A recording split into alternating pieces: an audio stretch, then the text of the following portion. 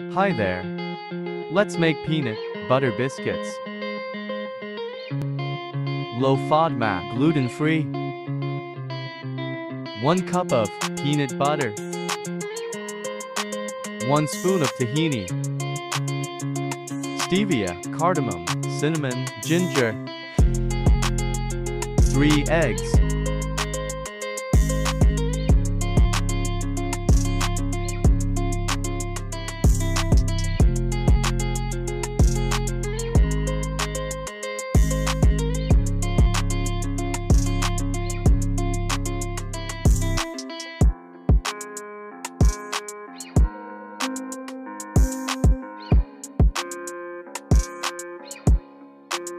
Bake in 200 degrees for 12 minutes.